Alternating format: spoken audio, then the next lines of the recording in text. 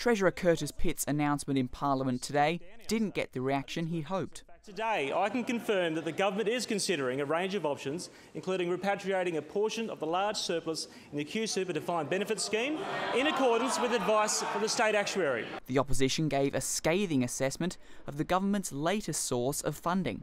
They promised Queenslanders that they could deliver services.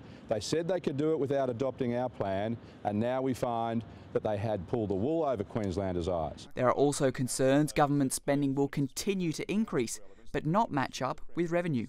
Premier Palaszczuk says the $30 billion fund with close to 50,000 public servant superannuation is in a very strong financial position. Unions say they've been guaranteed the money will be paid back, but they're putting the government on notice. Any attempts to attack, to attack our members' accumulation funds or any attempts to walk away from the government's guarantee in relation to the defined benefit scheme will be strenuously opposed by our union.